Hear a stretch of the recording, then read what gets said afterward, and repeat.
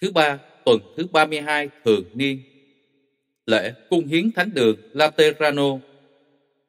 Tin mừng Chúa Giêsu Kitô theo Thánh Gioan, chương 2, từ câu 13 đến câu 22. Gần đến lễ vượt qua của người Do Thái, Đức Giêsu lên thành Jerusalem. Người thấy trong đền thờ có những kẻ bán chiên, bò, bồ câu và những người đang ngồi đổi tiền. Người liền lấy dây làm roi mà xua đuổi tất cả bọn họ cùng với chiên bò ra khỏi đền thờ. Còn tiền của những người đổi bạc, người đổ tung ra và lật nhào bàn ghế của họ. Người nói với những kẻ bán bồ câu, đem tất cả những thứ này ra khỏi đây, đừng biến nhà cha tôi thành nơi buôn bán.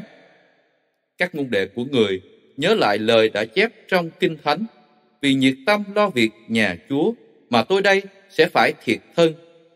Người Do Thái hỏi Đức Giêsu, ông lấy dấu lạ nào chứng tỏ cho chúng tôi thấy là ông có quyền làm như thế? Đức Giêsu đáp, các ông cứ phá hủy đền thờ này đi, nội ba ngày, tôi sẽ xây dựng lại. Người cho Thái nói, đền thờ này phải mất 46 năm mới xây xong. Thế mà nội trong ba ngày, ông xây lại được sao? Nhưng đền thờ Đức Giêsu muốn nói ở đây là chính thân thể người. Vậy khi người từ cõi chết trỗi dậy, các môn đệ nhớ lại người đã nói điều đó. Họ tin vào Kinh Thánh và lời Chúa Giêsu đã nói.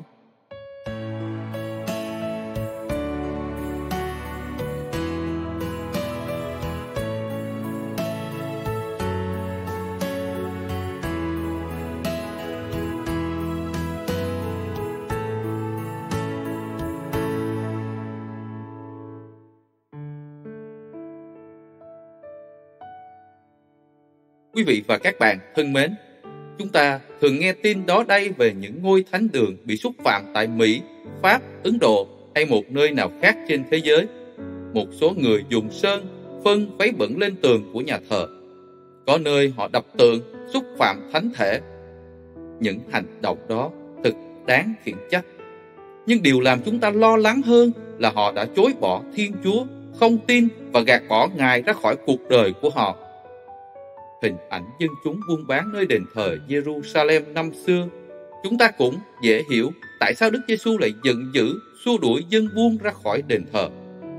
Dân chúng đã tục hóa đền thánh, nơi tôn nghiêm chỉ dành cho việc tôn thờ Thiên Chúa. Họ đã biến đền thờ thành nơi buôn bán, thành hang trộm cướp. Chính vì thế, Đức Giêsu đã hành động xua đuổi họ ra khỏi đền thờ nhằm lấy lại sự tôn nghiêm cho đền thờ. Nơi đây để cầu nguyện là nơi dân chúng gặp gỡ Thiên Chúa chứ không phải để tụ tập buôn bán. Hơn nữa, từ đền thờ vật chất, Chúa Giêsu vẫn đưa người Do Thái và chúng ta hôm nay đến một đền thờ mới vững bền hơn. Đó chính là thân thể của người. Người nói, các ông cứ phá hủy đi, nội trong ba ngày tôi sẽ xây dựng lại.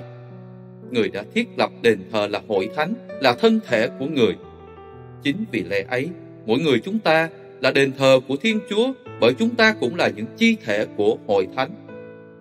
Thế nên, đền thờ của chúng ta cũng phải xứng hợp để cho Chúa ngự vào. Là khi tô hữu, trước những cám dỗ của thế tục, trước sự thờ ơ lãnh đạm với giáo xứ, chúng ta có bổn phận cộng tác, gìn giữ, làm sạch đẹp nhà thờ. Hơn nữa, chúng ta phải bảo vệ và gìn giữ thân xác tâm hồn thanh sạch để cho Chúa ngự vào. Ước gì mỗi người chúng ta biết quan tâm đến giáo xứ nhiều hơn, biết cộng tác để làm cho ngôi thánh đường luôn sạch đẹp và nhất là biết ý thức canh tân đền thờ tâm hồn để mỗi ngày cho xứng hợp là nơi Chúa ngự trị. Amen.